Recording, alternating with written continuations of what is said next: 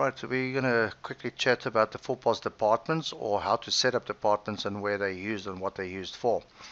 Um, so in the software we have uh, what we call a pricing group and a stock group and for some customers it's uh, quite a nightmare uh, but it's actually quite simple. So over here we can see we've got pricing groups. Okay, the idea with the pricing group is, is to identify which department or pricing group then your item must fit into. And if we go and skip the gun a little bit and we jump to the end of it and say, well, where, what will, what difference will it make? Uh, it makes a difference in terms, first of all, in terms of how to calculate the selling price. And that's why we call it a pricing group and not a department. Okay?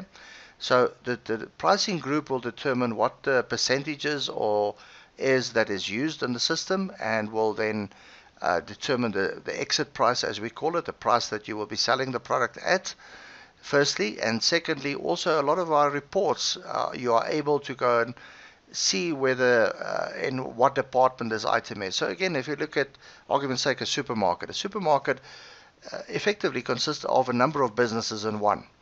Um, we have a fruit and veg section, we have grocery section, we have cleaning equipment or cleaning material department, we have a kiosk area which might be called kiosk as a department for that matter, and that would be typically high risk items uh, or high profit items. Okay, uh, in other words, products that if you do lose stock on there, you're losing a lot of money in, in a quick go.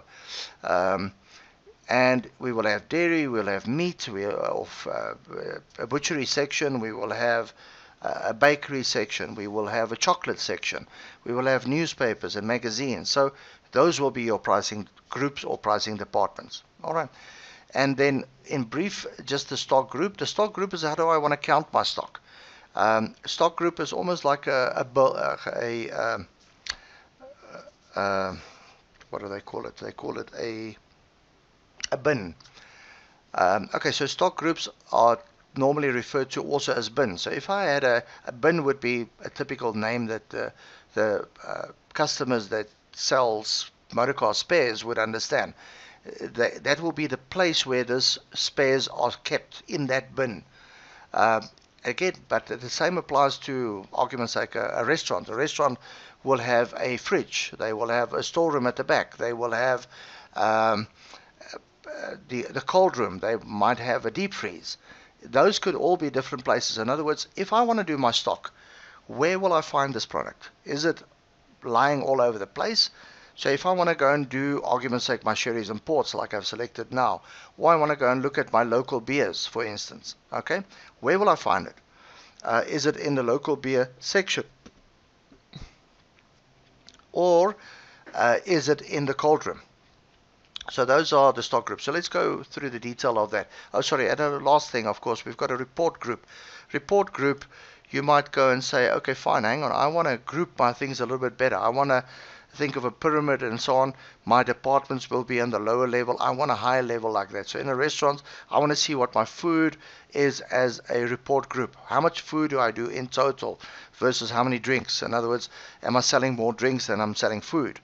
Um, or in a supermarket, I might want to do food products versus cold drinks or whatever the case may be uh, or typical retail products versus wholesale type of products. Okay, again, you can decide how you want to combine it. Um, so let's go and look at the uh, pricing groups quickly. Um, so pricing group, uh, if I click on the little dots with, or three little square with three dots, all of these uh, will give you the ability to actually go and maintain it. So you don't have to jump out, go to a different section of the software. So let's go and look at Beer Local now. In my beer local pricing group, I can see that I've called it that. Then we have some pricing rules in there, and I can say when a stock item is over 19 Rand 99, round all amounts below 39 cents, and so on. Um, you know what? Let's leave this for now. Uh, we're gonna. I'll do another video that does deals with pricing matrices specifically, and that will give you a better idea. So for now, just this is the department that I want to use for my pricing group. Okay. Uh, so that's my pricing group, my stock group again the same. You can call it the same like I have in this example, or you can have a different name for it altogether. You can say in uh, literally, as I said earlier, you can call it fridge. Doesn't matter. This is where the product is stored. Okay, and it might be fridge one, it might be fridge two, it might be shelf one, it might be row one, whatever you want to call it. You can have unlimited number of stock groups in the system. Um, and then the same with report group. Let's go and fix this quickly. Let's say in this case, I want to call it not test anymore. I want to call it food products or food items. Okay. And I might want to have another one called uh, drink items. Okay. Um, and that's it. That's as simple as it gets. Now let's go and have a look and see. Okay, so this is burger. So that will go to my food items. It will go under the report heading of food items. So let's go and have a look and see where does the pricing group specifically come into play. So if I go and look at my some some of my sales figures, I'm going to load the reports. I'm going to say go to today load reports. I'm not sure if there are any sales on there. Let's go and have a quick look. Uh, and I've selected a dashboard just to get a total dashboard. Does take a little bit of time. It obviously collates quite a lot of information. Okay, so there's a little bit of sales. There's 2,000 rand so the sales gone through the system. Now, if I want to go to and go and get a sales report, a sales, uh, always remember Analytical Board's product performance report. Quite nice report. By default, it does it's set up a normal listing. So if, if I want to do it by group now, I'll specify I want it by group. And which group? Do you want it report group, stock group, supplier, and uh, report group? Sorry, I don't know if I mentioned all of them, but in any case. So you can specify that. And if I then look at my report, it then breaks it down quite easily for me and say local beers, my shooters, spirits imported.